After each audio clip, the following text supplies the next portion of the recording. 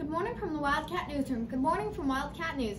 I'm McKenna. Today is April tw- 28th, 2022. It's today's fun fact is there is only 36 more days until the last day of school. Let's send it over to Zach for, for Ask Siri. Hi, I'm Zach and this is Ask Siri. Today's question comes from Diego in Mr. Thompson's class.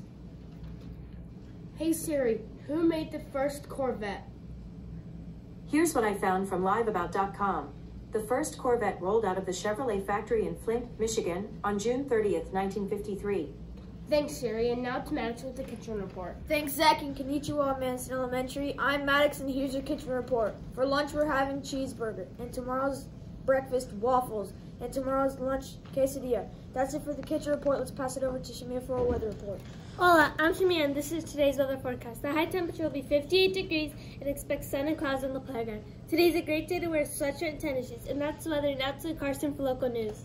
Bonjour, I'm Karsten and this is local news. Happy birthday to Dorian Morphin.